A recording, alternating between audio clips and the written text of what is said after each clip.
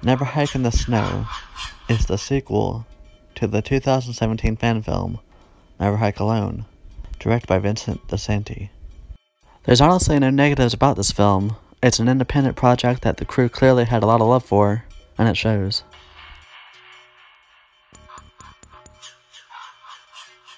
Now on to the spoilers. This is the second time I've seen it in one night, so I've had more time to adjust to what I saw and give more thought to it. The camera quality is perfect, as well as the cast. The only problem is you don't have a lot of time to spend with them. The cast of characters are developed very well, and for such a short runtime of only 25 minutes, they've done a damn good job. And the director and actor of the film, Vincent DiSanti, who also portrays Jason, he really brought a lot of mannerisms and special qualities to the character and his two films.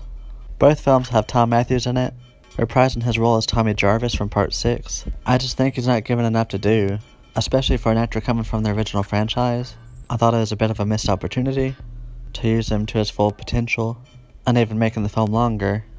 I really do love this movie, and I think it's extremely well made, and thanks to the fans forking out money for the project to help them build it. So Tommy Jarvis has become the crazy Ralph, which makes sense seeing that all he's been through. He's doomed. The practical effects are nothing short of amazing. Which brings me to my favorite scene between Jason and his mother.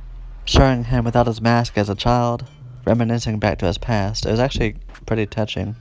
And the echo effect they used for Pamela's voice, it was really ghost-like, which I really liked that effect.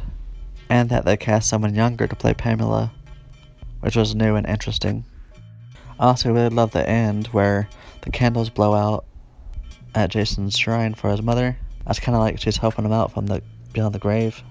It was also really nice to see Jason have quite the variety of weapons instead of going to his standard machete, because Jason can use anything to his advantage. He's the MacGyver of serial killers. And then before you know it, it's over, which it's just when you start to get into it. But any horror fan or Friday the 13th fan will love this film because it's made by other fans. Comment down below and let me know what you think. Also, if you'd like to see more Jason, feel free to check out my fan film. The link's in the description below.